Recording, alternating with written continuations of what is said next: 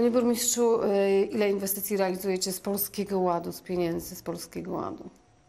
E, No na bogato inwestujemy, mm, Szanowni Państwo, dlatego że skorzystaliśmy z możliwości, jakie stwarza program e, Polski Ład. E, Realizujemy pięć inwestycji, trzy z Polskiego Ładu i dwie z innych e, możliwości, które stwarzały programy rządowe, e, Fundusz Dróg Samorządowych, a także z programu rozwoju obszarów wiejskich. Łączna wartość tych inwestycji po przetargach y, to ponad 6 milionów złotych, z czego Polski Ład dofinansowuje w wysokości 95%. I tutaj jest znacząca kwota, bo blisko 4,6 miliona złotych dotacji.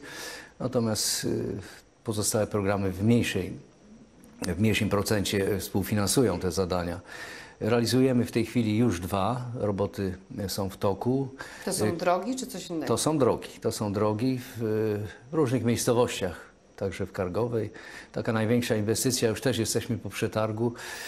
To była piąty, to był piąty przetarg i, i cieszymy się, że została złożona no, jedna oferta, troszeczkę droższa, tym razem droższa o 101 tysięcy, to jest około 4% powyżej kosztorysu ale pozostałe y, mamy po prostu tańsze oferty, mieliśmy te, które re- realizujemy, także tu nam, nam się powiodło. Piąty przetarg, to znaczy wcześniej się nikt nie zgłaszał, czy cena była Realizowaliśmy te przetargi y, kolejno, y, bo założyliśmy, żeby nie wrzucać tego w jednym jak gdyby rozdaniu, bo mogą się pojawić problemy.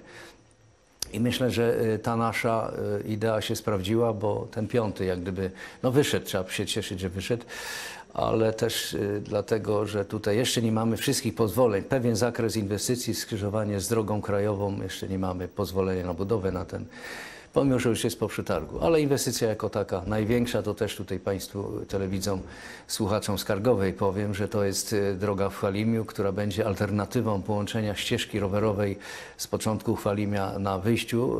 Y, To jest około 900 metrów.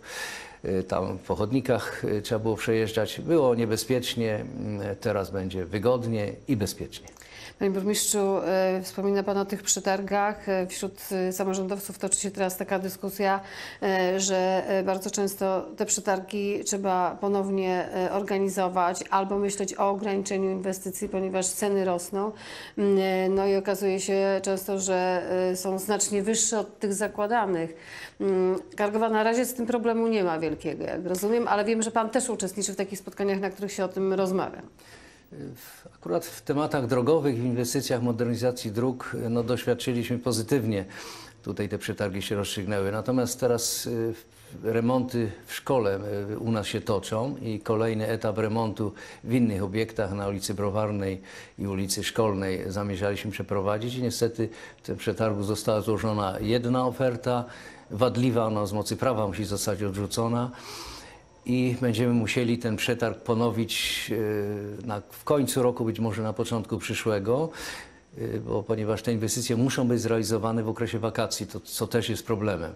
Także tutaj jak gdyby niepowodzenie e, i, i podzielam e, Pani zdanie, obawy o to, że no, ten rynek budowlany jak gdyby po stronie dostępności materiałów, ale też i wydolności firm y, no, się skurczył, ale też i pojawiły się pieniądze na rynku właśnie z Polskiego Ładu, programy rządowe. No i kryzys, myślę, spowodowany wojną, spowodowany też tym kryzysem na, na rynku y, spowodował, że, że te przedsiębiorstwa no, borykają się z problemami kadrowymi, z fachowcami. I No to tak, a samorządy borykają się z problemami finansowymi. E, czy będziecie, e, czy złożyliście propozycję do kolejnego rozdania w ramach Polskiego Ładu?